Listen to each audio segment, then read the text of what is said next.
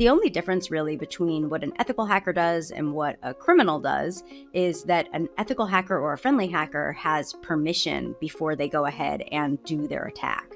So, getting consent, getting permission, walking through the scope, talking through what's appropriate in this scenario, and understanding how you can teach folks without scaring them too much. Um, criminals don't really care about that, right? They they don't have the same morals that an ethical hacker would have, and they don't really care if they scare people. Um, we really care whether or not people feel like they're learning.